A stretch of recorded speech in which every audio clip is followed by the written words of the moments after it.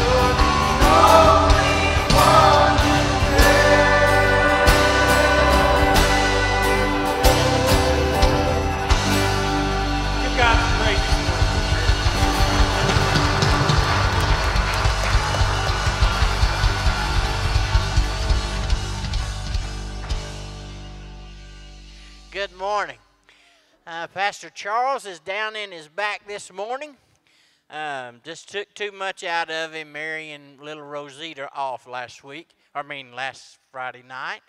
She got married, and uh, he's down in his back, and so can't make it today.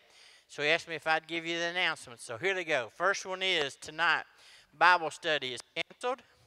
Next one, Bible study Thursday night is canceled. See him on the roll here. and then uh, the next one is not canceled, but uh, ask that you remember uh, Johnny Walker, his family, his sister, uh, Miss Bonnie Harris, passed away this morning. That's his last one. Um, and his family, so ask that you remember them. As soon as we get the details, we'll pass that along to you. But he got that message uh, as he got here to church this morning, so remember them. And then the next ones are all related. First of all, all Operation Christmas Child. That is being kicked off today. If you want to pack boxes on your own, the boxes will be available at both doors on your way out. You can grab those, and there's no charge for that. You just take those boxes. You can pack those at home. If you want to do that, you're welcome to do that. And we'd be grateful if you would do that. And if you don't want to, then on October the 3rd, that's a Sunday evening, we will be, I'm sorry? October the 30th. What did I say? Okay. Well, I just dropped a zero. I'm new at this, right? Give me a break. Uh, packing party October the 30th on Sunday evening and uh, their goal to pack that evening is 350 boxes. So if you want to come help us that night, we'd be grateful you do that as well. We'll have everything there. You just go through the line, pack the stuff, and you can go through uh, another time or two if you want to. So that'll be on October the 30th. And then if you don't want to do either one of those, but you still want to be involved, then you can pack online and the information on those for doing that there's cards on the back table back there you just scan that card go to a, a website and uh, you can just pick and choose things that you want in the boxes and uh, that'll get done for you. And as a matter of fact last year i got to be involved in that and did that over in boone north carolina. Some folks had packed some online. We got the list. We, i got to pick the stuff. And so that was kind of cool. And then one day, uh, I just was uh, helping sort the boxes that we or different folks had packed, not any of ours that I found, but they would come through, and we have to go through the boxes because some of y'all forget what you can and cannot put in there. And so I had to take stuff out, and they had this little 20 something year old girl that was in charge of our table and there was five, six of us adults at the table packing and ch- checking the boxes. And every now and then a box would come through with candy in it. We had to take the candy out. So this one box came through. It had had one candy, one chocolate Hershey Kiss in it. And I said, "Oh man, just one kiss." I said, "I can, I, surely I can let this one chocolate Hershey Kiss go through." And the girl looked at me. and She said, "You can."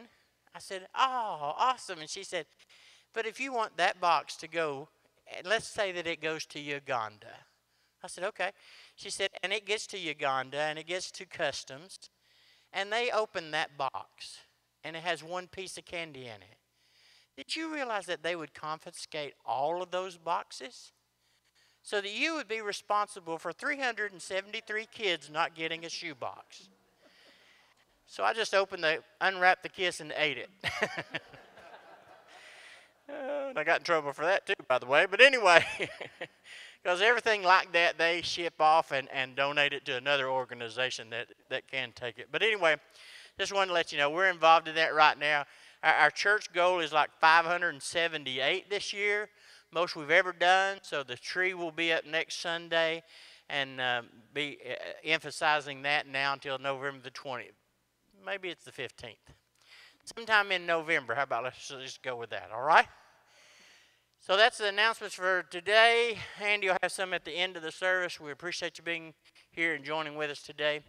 And uh, let me have a word of prayer for uh, Johnny Walker's family. Father, we come to you right now, ask you to cleanse and forgive us. Thank you for all that you do and are doing in our midst. Lord, it's been a, a long week, a lot of things going on with a lot of different families. some good and some bad and some rough. And Lord, we just pray that you would be with all those families. I pray you'd be with Johnny's family now as they minister to one another and take care of one another. And Lord, I just pray you'd give him a peace and a comfort. This was his, this was his twin sister. And Lord, I pray you'd be with him a special day today. And give him the blessing that only you can deliver, only you can comfort, and only you can watch over and care for. In Jesus' name we ask it. Amen. Watch this video from Operation Christmas Child. Let the little children come to me. Don't forbid them, for such is the kingdom of God. Assuredly, I say to you, whoever does not receive the kingdom of God as a little child will by no means enter it. Operation Christmas Child is a way for the little children to come to Almighty God. That is the best gift of all, is becoming part of God's family. The mission of Operation Christmas Child never changes. Children are coming to Jesus, children are being discipled, and children are taking the gospel to the ends of the earth. These children are brave and bold, not afraid, and they're not ashamed of the gospel. They're trained and equipped to go out and share their faith with others, and many times in areas where it's an unreached people group. The Bible tells us the time is now. Let them come, Jesus said, let them come. And they're coming. They're coming by the millions. Every single box represents the life of a young boy, a young girl who will be touched by the gospel. Jesus has come to give them light, that they do not need to be in the darkness, that they have hope, that they have joy. And it is our prayer that this glorious light of the gospel will flow among the nations and will fill our land with the knowledge of the glory of God. The Lord God Almighty desires to fulfill his redemptive plan for mankind in and through each of us and all of us. All of us are children of God. We share this incredible opportunity to take the gospel truly to the ends of the earth by gathering children to Jesus. I believe this year for Operation Christmas Child, this may be the most important year, most important opportunity that we'll ever have to reach children in the name of Jesus Christ. Pray that God will use these shoebox gifts to make a difference in the children's life for eternity.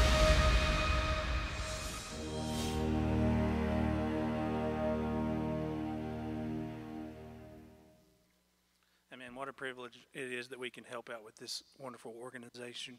Um, let's stand and let's conti- continue to worship God together this morning.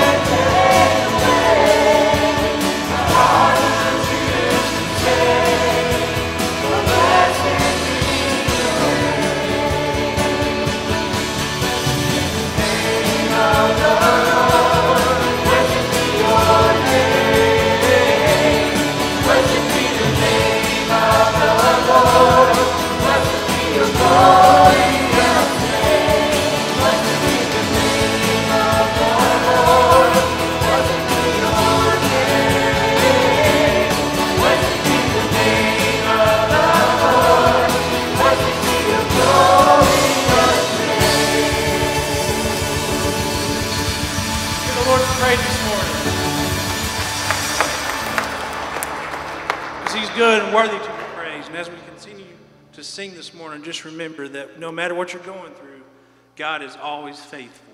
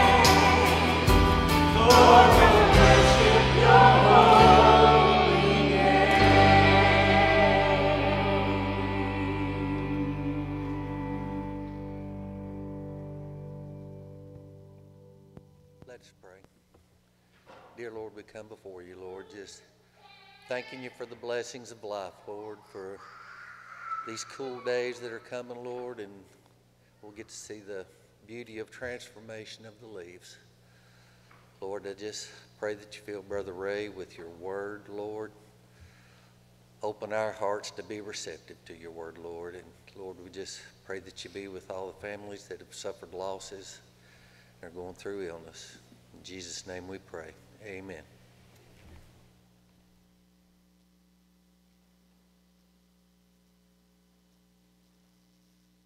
We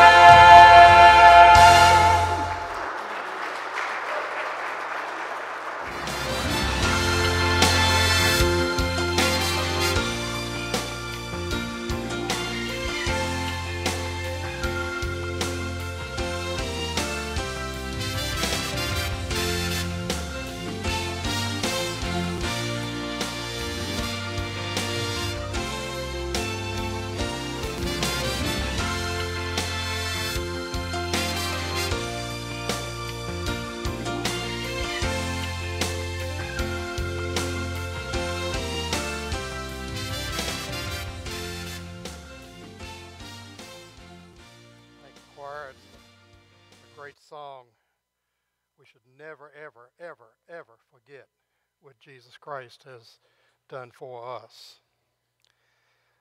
People have asked when I came in this morning, and when they saw Ann, when they saw me, said, Y'all get into a knockdown, drag out?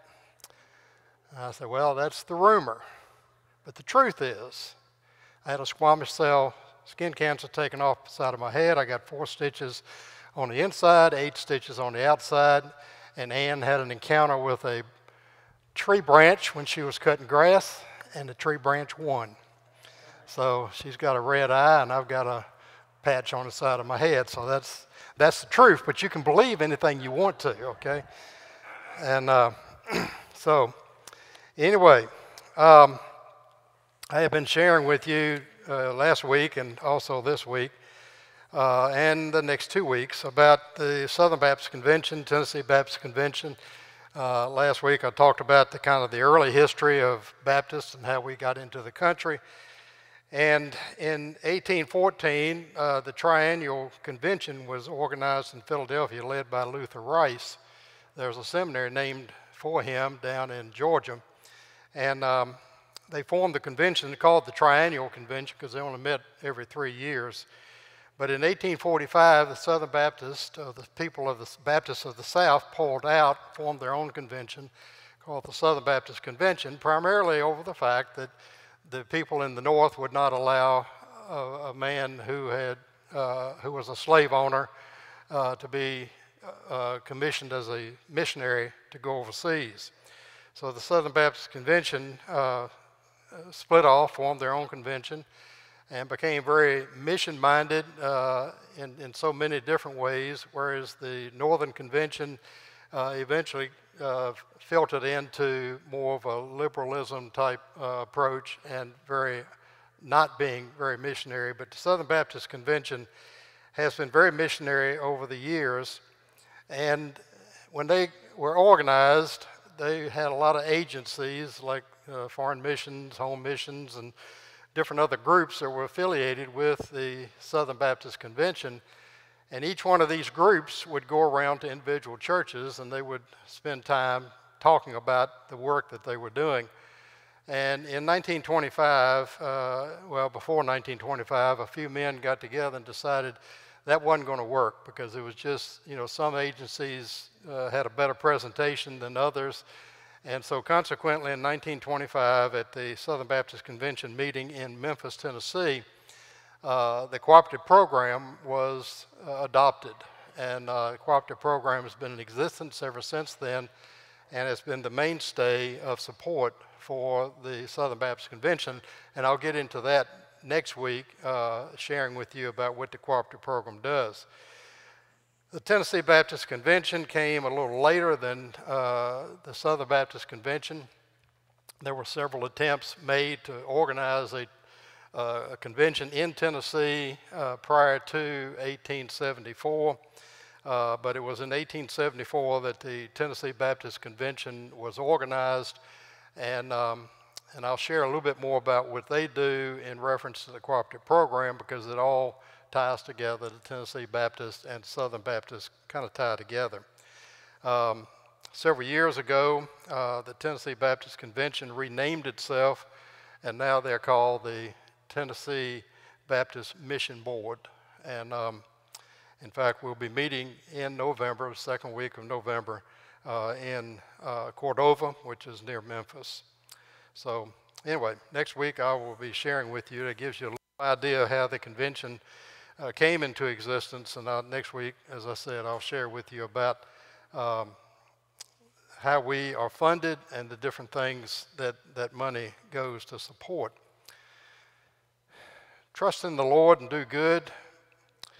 Dwell in the, this place and feed on His faithfulness. Delight yourself in the Lord, and He will give you the desires of your heart. Commit your way unto the Lord and trust also in him, and he will bring it to pass. And he will bring forth your righteousness as the light and your justice as the noonday. And then in Isaiah 30, 21, scripture for today, and says, You and your ears shall hear a word behind you saying, This is the way, walk in it. whenever you turn to the right hand or whenever you turn to the left. It's a great verse because we need to always remember that God is speaking to our hearts, speaking in our ears, and telling us, don't do that. Don't go there. This is the way I want you to go. This is the way I want you to walk. Do that which I have commanded you to do, and you will have good life. I appreciated the fact that the song that the choir sang this morning, uh, we, we will remember. We must remember. We must never, ever, ever forget what Jesus Christ has done for us. Because without Him, without His goodness, without what He does in our life, we are lost. This morning, I want to share with you three words remember, rejoice, respond from Ephesians chapter 2. The Bible can really be looked at in a lot of ways as perhaps a history, a living history of God working to redeem, restore his people unto himself. Probably all have read the first three chapters of Genesis. You know the first two chapters. The first chapter, God created the world, and after each time, He said it was good until He got to man, and then He said it was very good that He made man. Chapter 2 talks about how He made man and woman and placed them in the garden and told them to be caretakers of the garden. It was a perfect place. They spent all of their time communicating and fellowshipping with God as well as doing the things that God instructed them to do while in the garden. And the only thing that they had, the only negative thing in the garden at the time, as you well know, God said, Do not eat of the fruit of the tree of life. Many people think it was an apple. I don't know what it was. Anyway, whatever it was, it looked good. And then we come to chapter 3. And chapter 3 is when the wheels fall off when everything goes to pot. When God had told Adam and Eve, this is what you should do, and then all of a sudden Eve is alone and the serpent comes, and a lot of people think it was a snake curled around uh, a tree. No, I don't think it was a snake at that time. I think the snake came later. But whatever it was, Satan did not frighten her. And he told her, he said, You know, God really, really wanted you to eat that tree. He said, and, and, and as far as dying is concerned, you're not going to die. God's not going to kill you. They didn't even know what death was.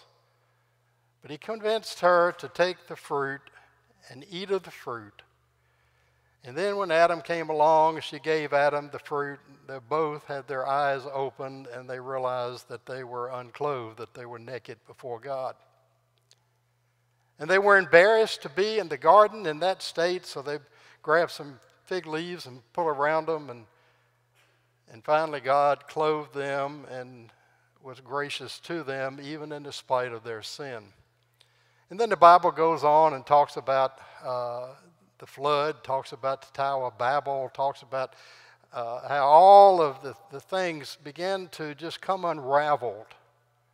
All of the good things that God did for the people of, of Israel, uh, who were not the people of Israel at the time, but all that God did for the people of His creation, it just came unglued. And so God called a man, a man named Abram who lived in a far country. And God said, I want you to come over here. I've got a place I want you to live. A place you have never seen, a place you know not of. I want you to come over here and I want you to live.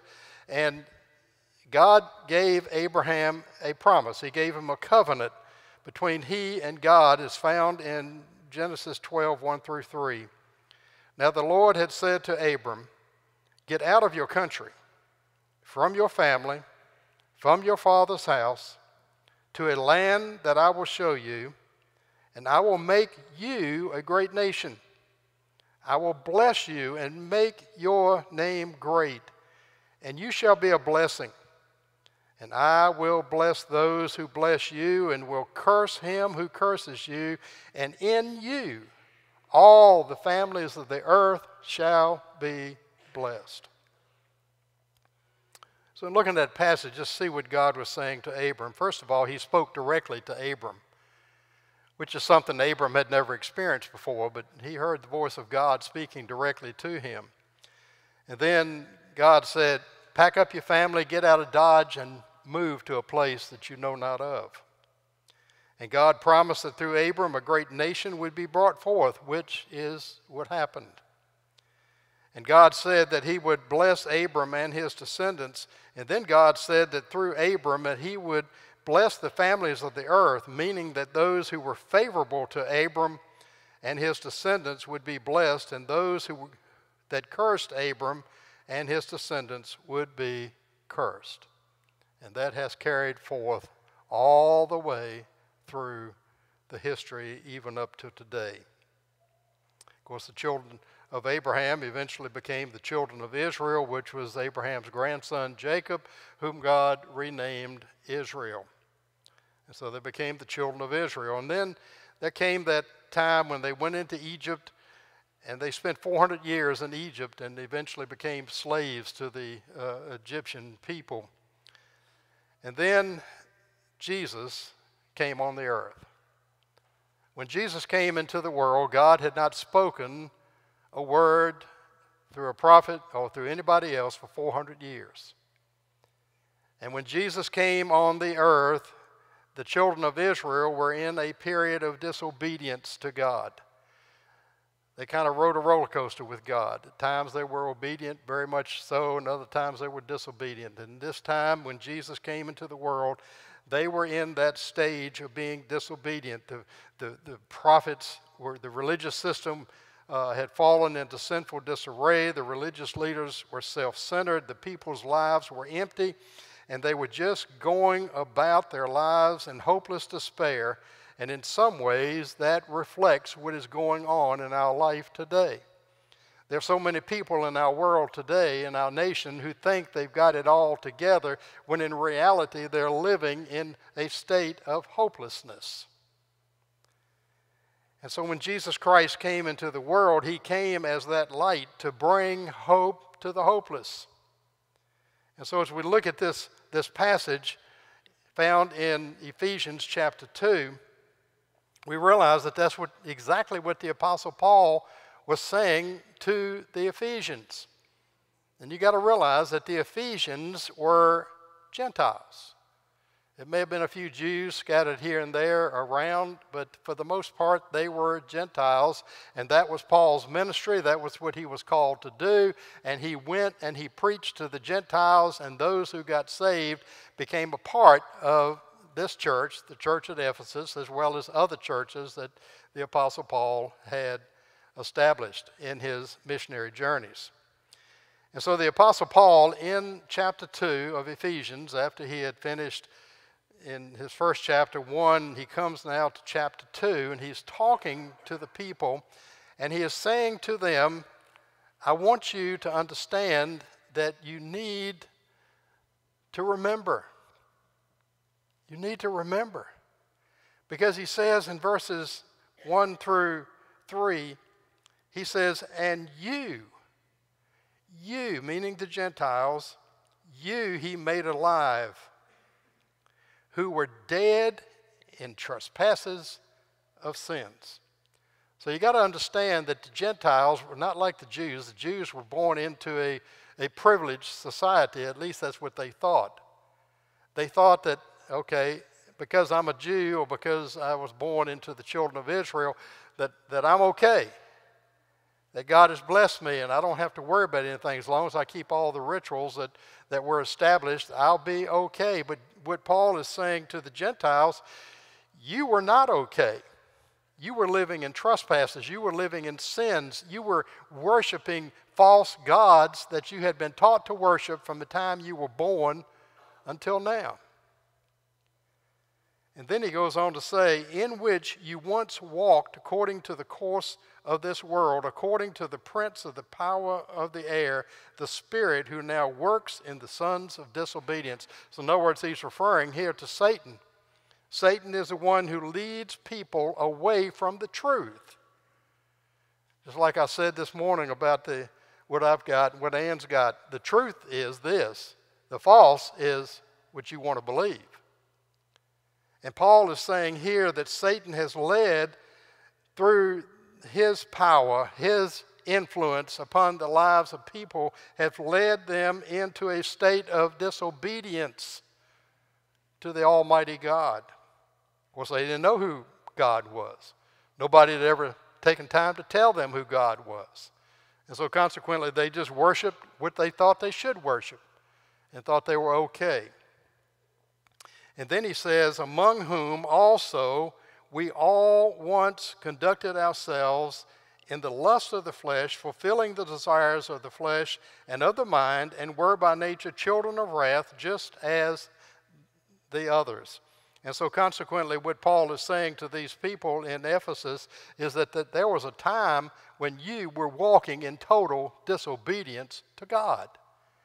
And then over in verse 11 and 12, he says, Therefore, remember that you, once Gentiles in the flesh, who were called the uncircumcision by that which is the circumcision made in the flesh by hands, that at that time you were without Christ, being aliens from the commonwealth of Israel, strangers from the covenants of promise, and having no hope, and without God in the world.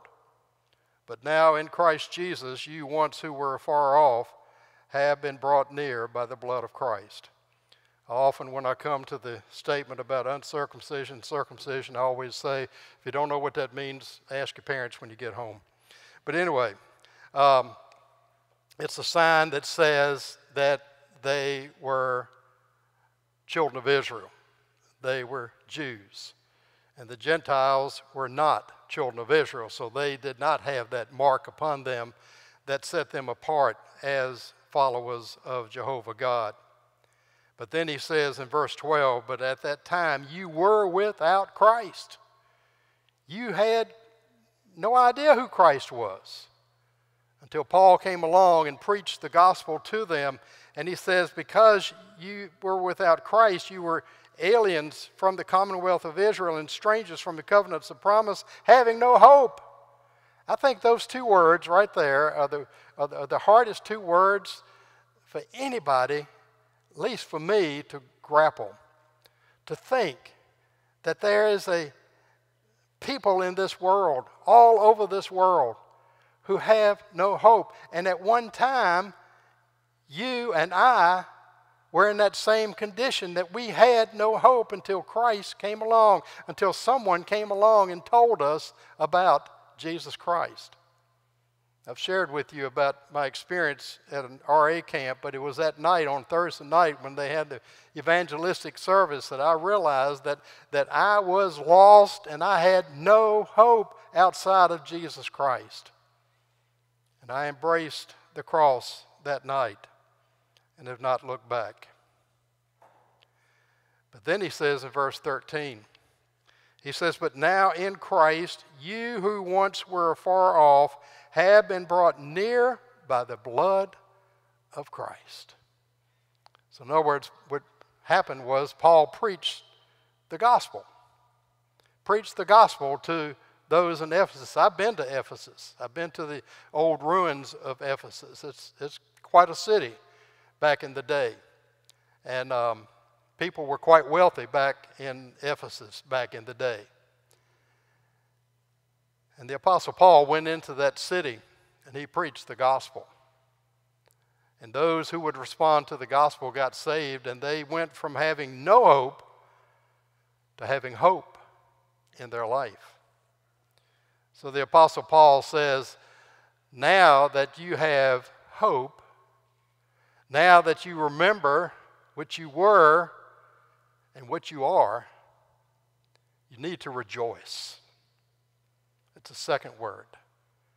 Remember and rejoice. Why do they rejoice? Well, two words in verse 4 but God. Two words in verse 12 no hope. But in verse 4, but God, who is rich in mercy because of his great love, which he loved us, with which he loved us, even when we were dead in trespasses, made us alive together with Christ. By grace you have been saved by faith and raised up together and made to sit together in the heavenly places in Christ Jesus, that in the ages to come he might show the exceeding riches of his grace in his kindness toward us in Christ Jesus. And then the two the verse two verses that I love and I've memorized over the years for by grace are you saved by faith not of works not of ourselves. For it is a gift of God, not of works, lest any one should boast. I've been around a lot of people in my life and I've been around a lot of people who have boasted about a lot of different things. But the one thing that we cannot boast about from a human perspective, we cannot boast and say, I have saved myself.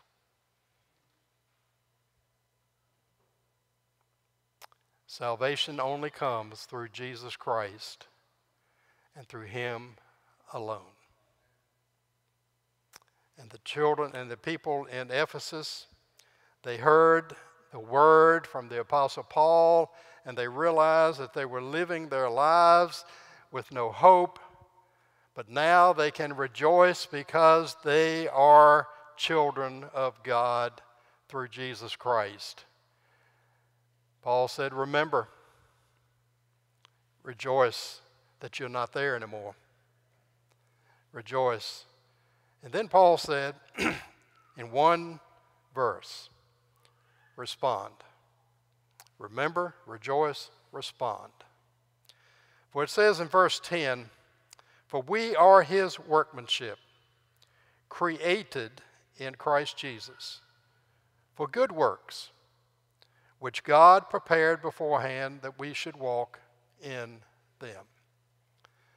Now, if you remember back in verse 8 and 9, it says, For by grace you have been saved through faith, and that not of yourselves, it is the gift of God, not of works, lest anyone should boast. And then he follows right up with that by saying, But we are his workmanship. Wait a minute. If it's not by works, workmanship, what, what is it? And he says he'll create it in Christ Jesus for good works, which God had prepared beforehand that we should walk in them. So, in other words, the works that Paul was talking about in verse 9 is our works. Works that, that we do to earn points with God. And there are many religions in the world today who, who espouse that kind of faith. There are many people in the world who espouse no faith at all and say, well, because of my good works, God's going to take me to heaven because He's a good God. Well, He's not going to take you to heaven if you don't embrace the cross. If you don't give your heart and your life to the Lord Jesus Christ on faith and trust and walk with Him and saying, Lord, I'm nothing. Take me and use me. And that's where it comes in because I've said this before and I'll say it again is that because if all that God wanted to do in our life is to save us, we should have been out of here by now. Because we have a propensity to mess things up from time to time. But God left us here for a purpose and that is to share the gospel. Respond by sharing your faith. Respond by doing the things that need to be done to help other people. I've seen the commercials this week uh, Billy uh, Franklin Graham, who was talking about Samaritan's Purse and the response that they're making to the hurricane relief in Florida. And that is born out of faith. And, and as I watched him talk about those trucks and people who were going down, he didn't say that, that we're doing it to pat ourselves on the back because we're such good people. He said we're doing it because of our faith in Jesus Christ, and that is one of the primary reasons why we do what we do is to tell people the truth about Jesus Christ and how he saves our lives and how he gives us strength to live each day.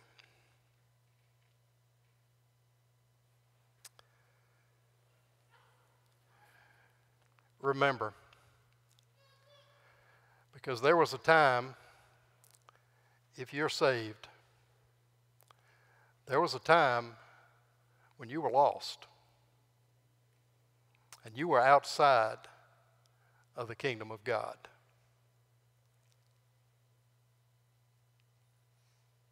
But rejoice. If you have embraced the cross, rejoice because now you are saved. And you are in the kingdom of God. And He has promised to you and promised to me that when we die off of this earth that we're going to be in the presence of our Lord and Savior Jesus Christ.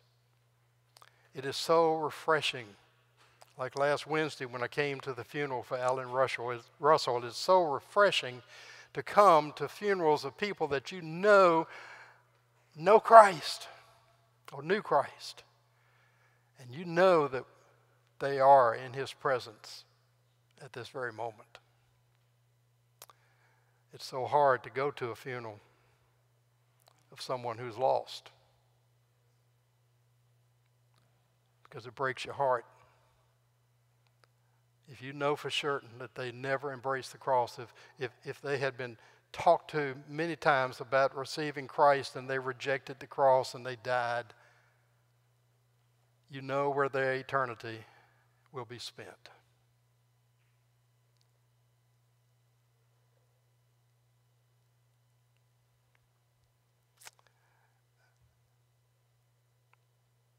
I'm not perfect. You're not perfect. We struggle. But the one thing, the one thing that makes a powerful difference in our lives is that we're saved, and in that we can rejoice. Because I know that when I die, I know where I'm going. And I know with whom I'm going to spend eternity. And that is my Lord and my Savior, Jesus Christ. And I hope that everybody in this room this morning has that assurance. That you can remember where you were, but you can rejoice in where you are. And that you can respond to other people and tell them, this is what Jesus has done for me. And, and, and I just do all I can to beg you to embrace the cross because that's the only hope we have. And if you don't embrace the cross, there is no hope. Have you embraced the cross? Father, thank you for always providing for us the truth of your word, for giving us, oh God, the, the hope that we need in our life to be able to live in these troublesome days. The Apostle Paul faced troublesome days. All Christians from down through the centuries of time since Jesus died and arose from the grave, everyone who has followed Jesus Christ has faced troublesome days. What we're going through today is no different from what anybody else has gone through over, over periods of time. But oh God, I pray that as we, we remember the hopelessness that we had, that we, Lord, will rejoice in the fact that, that we now have hope in Jesus Christ and that we can respond by sharing with other people the glorious hope found only in Jesus Christ. And if there's anyone here today, Lord, who needs to make that decision in their life, who needs to say, Lord, I want to trust you. I want to give you my heart. I want to just take this time, Lord, just to say, I'm tired of living my life myself. I want to follow you and I want to trust you each step of the way. Whatever you may be speaking to the hearts of your people here this morning, Lord, I just pray that you will lead them to respond to your grace. For it's in Christ's name we pray. Amen. Let's stand together.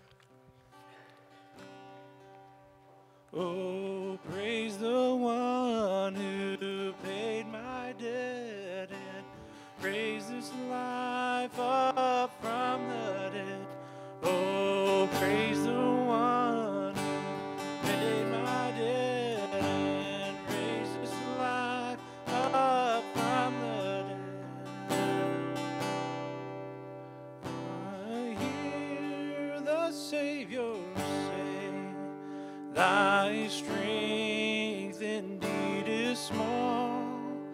Child of weakness, watch and pray. Find in me